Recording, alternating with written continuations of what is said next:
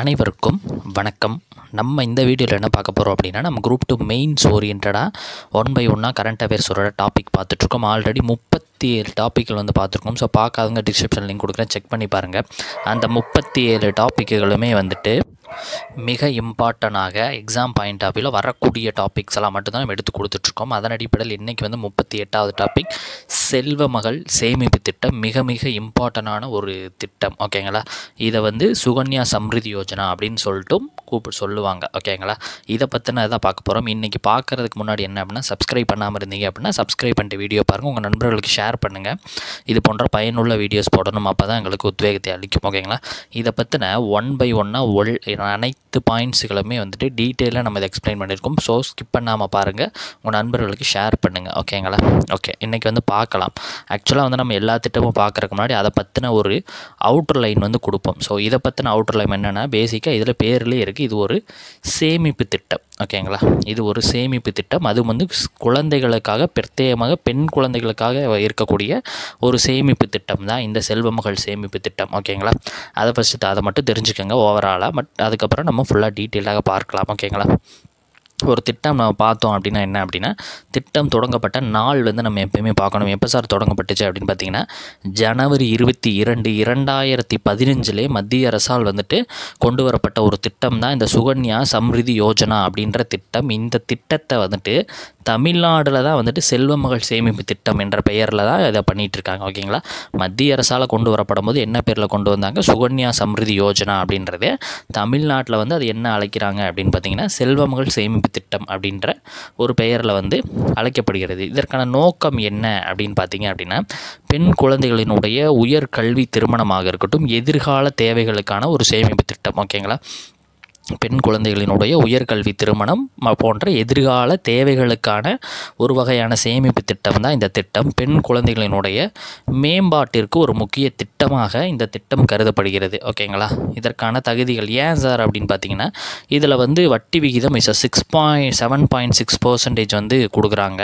ஸ்டார்டிங்கில் வந்து தொடங்கும் போது நைன் பாயிண்ட் ஒன் பர்சன்டேஜ் வந்து கொடுத்துருக்காங்க. ஓகேங்களா? ஸோ அதிகமாக வட்டி கிடைக்கக்கூடிய ஒரு திட்டம். குறைந்த அமௌண்ட்டில் அதிகபட்ச பலன் அடைக்கக்கூடிய ஒரு திட்டங்களை இதுவும் ஒன்று.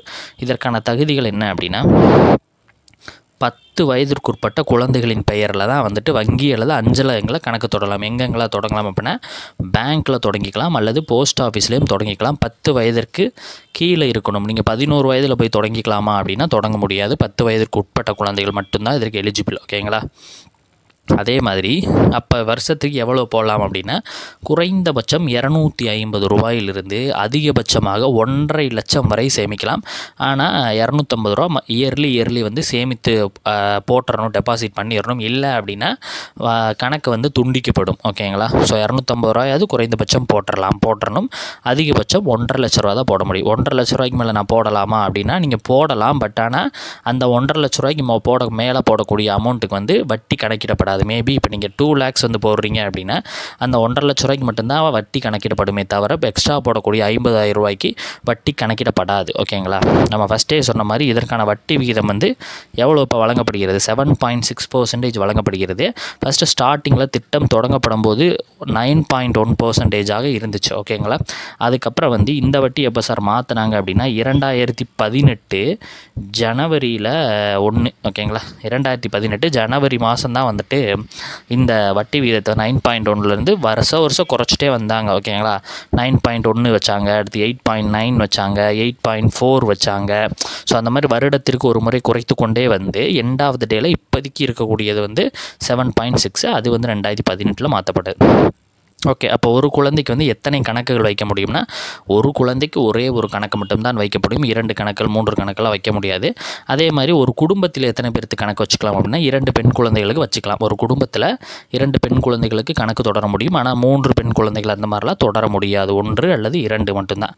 இதற்கு என்னென்னலாம் ஆவணங்கள் தேவைப்படுகிறது அப்படின்னு பார்த்தீங்கன்னா குழந்தையினுடைய பிறப்பு சான்றிதழ் வந்து கட்டாயம் பெற்றோரினுடைய அந்த குழந்தையின் பெற்றோருடைய ஆதார் கார்டு கட்டாயம் அதே மாதிரி பெற்றோரினுடைய பான் கார்டு பேன் கார்டுன்னு சொல்லுவாங்களே ஓகேங்களா? இந்த பேன் கார்டு அதுவும் வந்து ஆதாரம். இதற்கான திட்ட காலம் மற்றும் கணக்கு கையாளுதெல்லாம் யார் பண்ணலாம் அப்படின்னு பார்த்தீங்கன்னா திட்ட காலம் எவ்வளோன்னா பதினைந்து வருடம் இது ஒரு திட்ட காலம் இதனுடைய டைமிங் அதே மாதிரி இந்த திட்டத்தில் வரி விலக்கு அளிக்கப்படுகிறது. இந்த திட்டத்தில் சேரும் குழந்தைகளுக்கு வரி விலக்கு என்ன மூலமாக எயிட்டிசி அப்படின்ற மூலமாக அளிக்கப்படுகிறது. வரி விலக்கு இந்த நம்ம கட்டக்கூடிய தொகைக்கு வந்து வட்ட வரி வந்து கிடையாது. அதே மாதிரி அதனுடைய முதிர்வுத் தொகை இப்போ இந்த வட்டி கிடச்சி நம்மளுக்கு வருடங்களுக்கு பிறகு பல வருடங்களுக்கு பிறகு வந்து அந்த அமௌண்ட் கிடைக்கும்ல. அந்த அமௌண்ட் கிடைக்கிறதுக்கும் வட்டி விகிதம் கிடையாது என்பது இதில் ஒரு முக்கியமான விஷயம். ஓகேங்களா பதினெட்டு வயது முடியும் வரை பெண்ணின் பெற்றோர் வந்து பெற்றோர் அல்லது பாதுகாவலர் வந்து கணக்கை வந்து இயக்க முடியும். ஓகேங்களா அடுத்தது பெண்ணுக்கு திருமணம் அல்லது வந்து திருமண செலவுகள் அந்த மாதிரி கணக்கை வந்து காட்டி இதில் ஃபிஃப்டி பர்சன்டேஜ் பாதி தொகையை வந்து நம்மளால் எடுக்க முடியும். இப்போ நீங்கள் டென் லேக்ஸ் போட்டு வச்சுருக்கீங்க அப்படின்னா அதில் பாதி தொகை வந்து ஃபைவ் லேக்ஸ் வந்து உங்களால் எடுத்துக்க முடியும். பதினெட்டு வயதிற்கு மேற்பட்ட அந்த திருமண கணக்கு வந்து ப்ராப்பராக காட்டினேன் ஓகேங்களா இதற்கான முதலீட்டு முறைகள் என்ன அப்படின்னா நேரடியாக போயிட்டு க பண்ணலாம். இல்லை அஞ்சல் அலுவலகங்களை வந்துட்டு அல்லது வங்கியில் வந்து நேரடியாக செலுத்தலாம். இல்லை அப்படின்னா நம்ம மொபைல்ல இருந்தே மொபைல் பேங்கிங் அல்லது இன்டர்நெட் பேங்கிங் மூலமாகவும் செலுத்த முடியும் தவணைகளை. இதற்கான சாதனைகள் என்ன அப்படின்னா ஒரு கோடிக்கும் அதிகமான கணக்குகள் தற்போது இருக்குது அப்படின்ற மாதிரி சொல்லப்பட்டிருக்கு. அதேமாதிரி கடந்த ஐந்து ஆண்டுகளாக இந்த திட்டத்தில் தமிழ்நாடு தான் ஃபஸ்ட் பிளேஸில் இருக்காங்க. கடந்த ஐந்து ஆண்டுகளாக யார் இந்த திட்டத்தில் ஃபஸ்ட் பிளேஸில் இருக்கா அப்படின்னு பார்த்தீங்கன்னா தமிழ்நாடு தான் இந்த திட்டத்தில் ஃபஸ்ட் பிளேஸில் இருக்காங்க. ஓகேங்களா?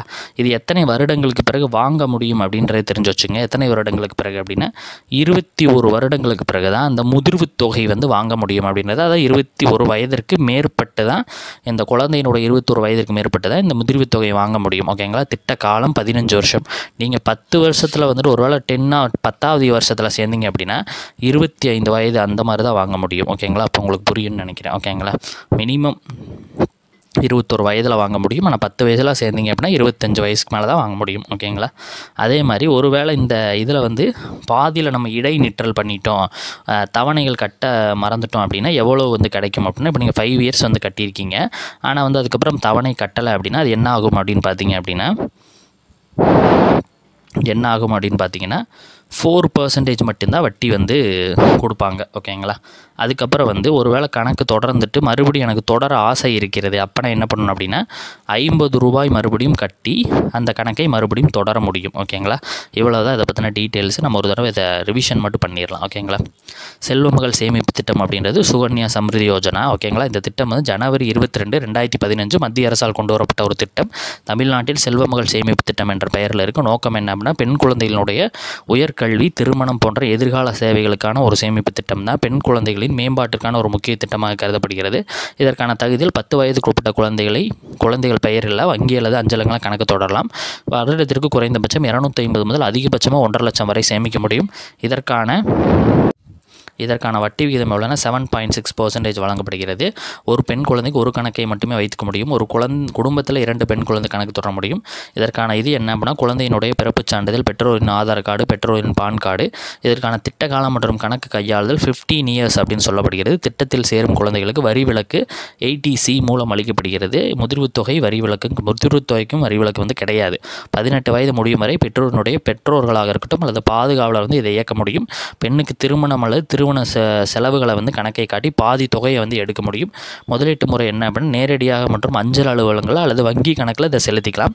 மொபைல் பேங்கிங் அல்லது இன்டர்நெட் பேங்கிங் மூலமும் செலுத்த முடியும். ஓகேங்களா சாதனை என்ன அப்படின்னா ஒரு கோடிக்கும் அதிகமான கணக்குகள் இப்பொழுது இதில் இருக்குது கடந்த ஐந்தாண்டுகளாக தமிழ்நாடு முதலிடத்தில் இந்த திட்டத்தில் உள்ளது குறிப்பிடத்தக்கது. ஓகேங்களா இதை வந்து எவ்வளோ டீட்டெயில்டாக எடுக்கப்பட்டிருக்கு அப்படின்றது தெரியும். இதை வச்சு நீங்கள் ஆறு மதிப்பெண்கள் மற்றும் பன்னெண்டு மதிப்பெண்கள் தாராளமாக எழுதிக்கலாம். ஓகேங்களா இந்த திட்டம் முடிஞ்சு இதே மாதிரி வந்து முடிஞ்ச அளவுக்கு நம்மளால் எவ்வளோ திட்டங்கள் இன்னும் எக்ஸாம் பாயிண்ட் ஆஃப் வியூ வரைக்கும் போட முடியுமோ நம்ம போட ட்ரை பண்ணலாம். ஓகேங்களா ஸோ ஸ்கே சப்ஸ்கிரைப் பண்ணி வச்சுக்கோங்க. நண்பர்களுக்கு ஷேர் பண்ணுங்கள் அப்போ தான் இது போன்ற பயனுள்ள வகையில் வீடியோஸ் போட எங்களுக்கு ஒத்துழைப்பு அளிக்கும். நம்ம அடுத்தடுத்த வீடியோக்களை பார்க்கலாம். தேங்க்யூ